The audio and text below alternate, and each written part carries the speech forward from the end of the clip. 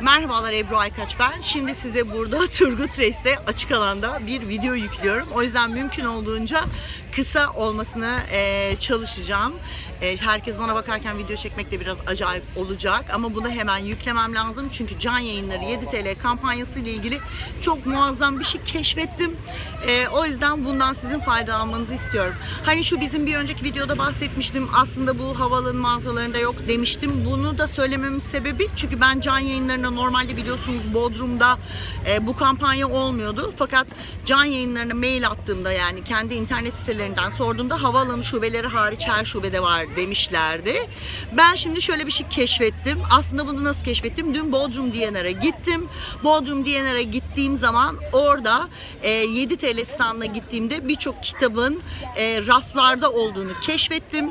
Yani raflara gittiğimde bir baktım Salman Rushdie'nin kitapları vardı. Koca koca kalın kalın kitaplar. Aslında 52 liralık bizim o 7 liraya bulmak istediğimiz kitapların hepsi raflarda duruyordu. Ve bu kitaplar raflarda durduğu için ben de bunları tek tek toplamıştım. 4-5 tane kitabı ve alıp bunları koyun satın 7 TL'den insanlar alsın bilmedikleri için alamazlar demiştim.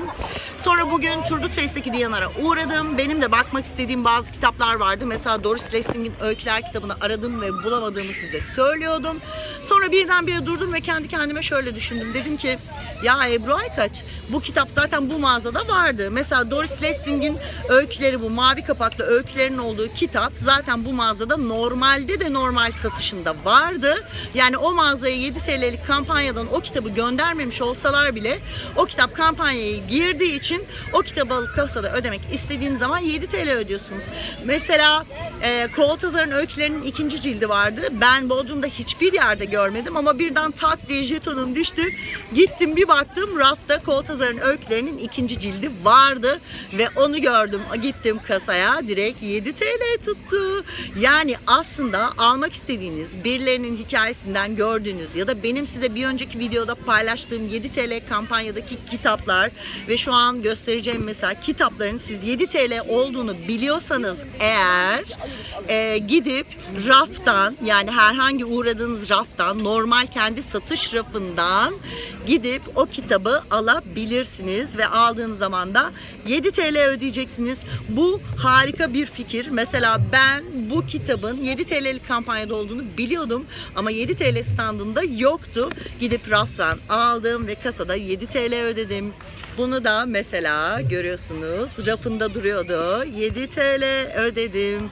Veya mesela asıl dediğim gibi almak istediğim kitabı. Tabi bu kalabalıkta size böyle gösteriyorum. Biraz acayip oluyor. Bu ne değişik bir video olacak. Sokaklı, çoluklu, çocuklu falan. Demir de bu arada parkta top oynuyor. Aferin bana. Bütün can yayınları kampanyası boyunca arzuladığım tek kitaptı arkadaşlar. Doris Lessing'den ee, ne bu? Jack Orkney'nin Günaha Çağrılışı.